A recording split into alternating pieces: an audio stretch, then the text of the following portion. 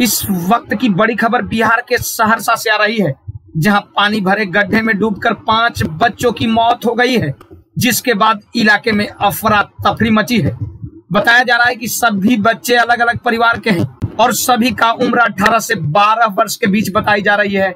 घटना उस वक्त घटी है, जब बच्चे चिमनी भट्टे के लिए खोदे गए गड्ढे में स्नान कर रहे थे। उसी वक्त घटना घटी है। सदर थाना के सहरसा बस्ती वार्ड नंबर उनचालीस की घटना बताई जा रही है। प्रशासनिक अधिकारी जाँच में जुट गए हैं। हुआ है एक साथ पाँच बच्चों की मौत हुई है। और क्या परिवार वालों को मुआवजा मिलेगी और कि, किस तरह से ये घटना हुई है जाँच बहुत ही दुखद घटना है और प्राप्त जानकारी के अनुसार एक गड्ढा में पानी भरा हुआ था जिसमें आगे बच्चे नहाने के लिए गए थे और उसी में एक एक पानी बहुत ज़्यादा था उसमें डूब गया क्योंकि अगल बगल में अ, घर नहीं उस समय उसकी जानकारी थी अगल बगल के लोगों को प्राप्त नहीं उनको बड़ी जानकारी मिली।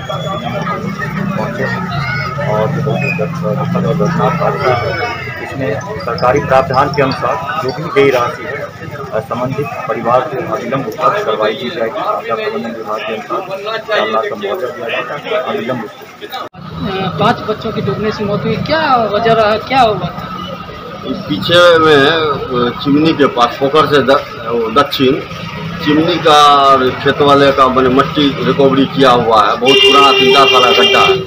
हर साल उसमें एक बच्चा दो बच्चा अभी तो बहुत जघन्य घटना हो गया है। पाँच पाँच बच्चा एक साथ डूब के स्वर्गवास क्या बच्चे वहाँ क्या करने गए थे? क्या पता चला?